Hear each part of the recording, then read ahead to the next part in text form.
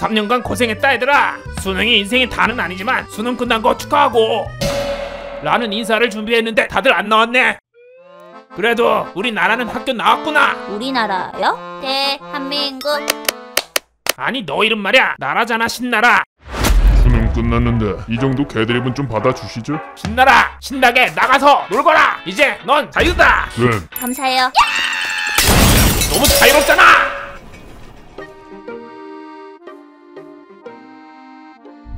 엄마 정말 엄마야? 음, 우리 딸. 엄마 미안해. 내가 엄마한테 맨날 틱틱대고 사랑한단 말도 못하고. 괜찮아, 우리 딸.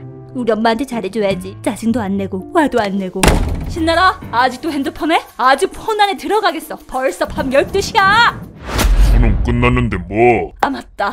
수능 끝나고 봐. 그걸 못 참니?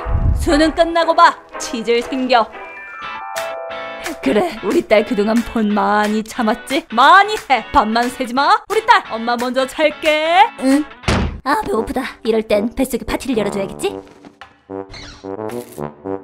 룰루 아 행복해.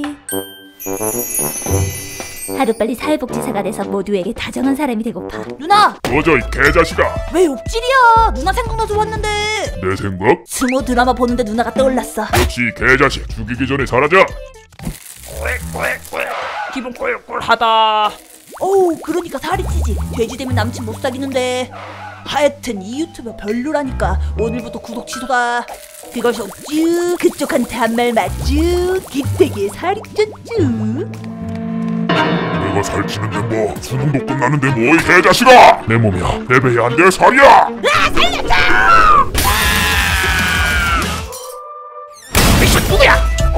어? 스모 드라마 저 이거 봤는데 이것도 가지고 간다 잠시 핸드폰 좀 하고 가도 될까요? 드라마 스포만 하지 마셔 아 엄마 오늘은 친구들이랑 여행 좀 갔다 올게 뭔 외박이야 외박은 아 수능 끝났는데 왜?